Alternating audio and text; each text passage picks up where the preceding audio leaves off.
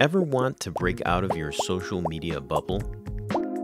While social networks use algorithms that typically steer us toward people who share similar ideas and interests, new research suggests this may not be serving us well.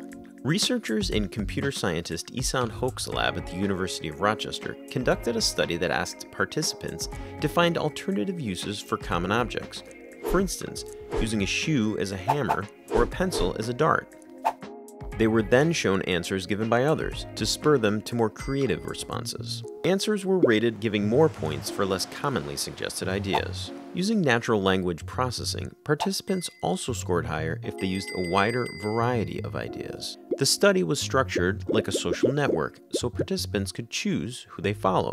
The overwhelming preference was to follow those with the most creative ideas, not those most similar. By following creative individuals, people were able to improve their own creative ability. However, when many people draw inspiration from the same source, ideas become redundant. In other words, for our ideas to stand out, it not only matters who I am following, but also who my friends are following. If social media companies incorporate this new model into their algorithm, it could remove barriers for creative individuals to become social influencers, resulting in greater equity and a more robust marketplace of ideas.